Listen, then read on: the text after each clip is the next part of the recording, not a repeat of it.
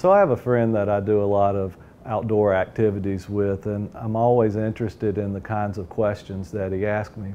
These questions always start out something like, so you're a biologist, why is it that the sky is blue, or why does this fish have this particular coloration, or why is the water the color it is on this particular day? Or it may range all the way up to something like, what is the doctor trying to tell me when he talks about a particular condition?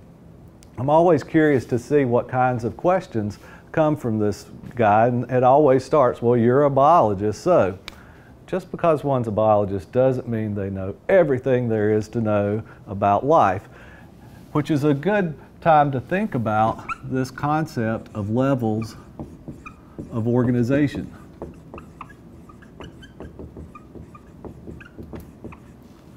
There are many different approaches one can take to the study of life. And so what we're going to do is just list all the different ways that, that we can approach the study of life and have a little discussion about each of them. So we start off with what we call the atom. And certainly if you've had a chemistry class or a physical science class in high school, you know, uh, know about the atom, hopefully. The atom is the smallest complete unit of matter. Now, it's important to understand what we mean by the smallest complete unit of matter. There are things that are smaller than atoms. We have subatomic particles such as protons and neutrons and electrons and mesons and bosons. But th these subatomic particles by themselves do not represent any complete piece of matter. So the atom is the smallest complete unit of matter. Now, we mentioned the term matter, which we should define. Matter can be defined as anything that takes up space or anything that has mass, but something has mass, it takes up space. So uh, sometimes people just say anything that has mass and takes up space. Um, things exist that aren't matter, but those are things like emotions or, or thoughts. But anything that, that takes up space within the room um, or the environment is considered to be matter. One of my favorite tricks to play on students is I'll ask them to, to think of something that is not matter. And I'll write on a, on a card, because I know what they're going to say. And almost always somebody in the room will write down air. And they'll say, air is not matter. But then I remember a car that I once had, and I had to crack the window a little bit to shut the door because when I tried to shut the door and tried to compress all of that air, it didn't work very well and I had a hard time getting the door shut.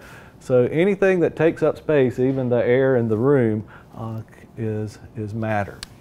There are different types of matter, and the different types of matter are called elements.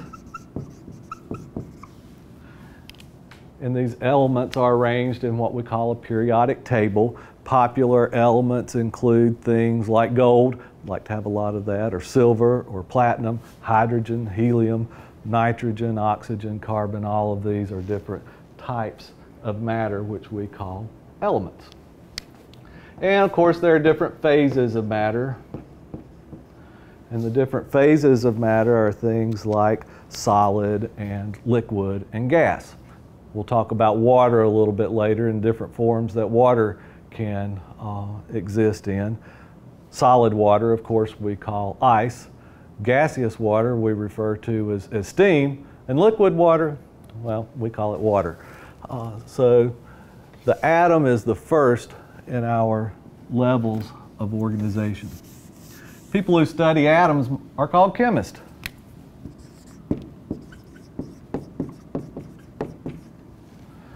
The next level of organization is the molecule level. And we have a molecule when two or more atoms are chemically combined.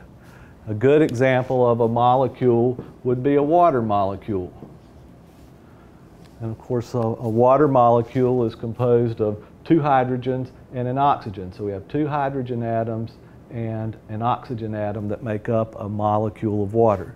So here we have three atoms that are chemically combined. We could talk about uh, larger molecules like glucose or, or DNA, uh, and we'll talk about all of these uh, later. So the next level of organization I like to include is the macromolecule level. And the macromolecule level just recognizes that there are some molecules, uh, especially important to life, that are, are very large molecules. That's what macro means, is, is large. Macromolecules include things like proteins, uh, DNA, um, polymers, and that's in an upcoming chapter that where we'll learn about the macromolecules important to life.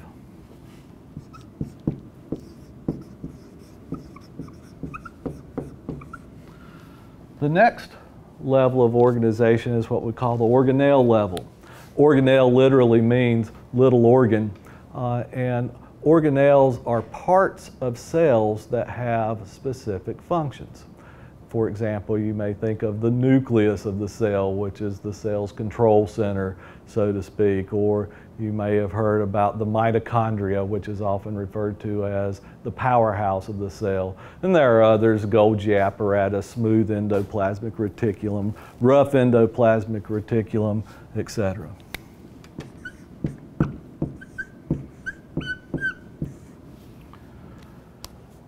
So we finally get to the cellular level of organization. And earlier, we learned that the cell is the fundamental unit of life. All living organisms are composed of cells. And there are all sorts of, of different kinds of cells. But if it's living, it's made of cells. It's not until we get to this level of organization, the cellular level, that life actually exists.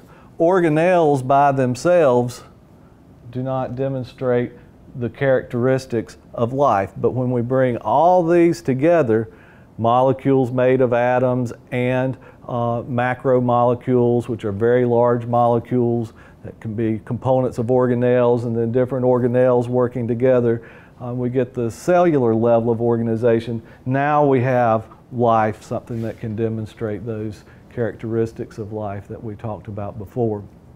You know, I sort of think about uh, a box that I have in, in, my shop, and I, I have several fishing reels that I've taken apart and tried to put back together, but I was missing a piece and I never could get them back together just exactly right. And so even though I, I have all of these parts that could be used to make a fishing reel, because they're not put together right or because one is missing, the fishing reel doesn't work. So uh, when we get to the cellular level, we finally have life, all the right parts in the right places.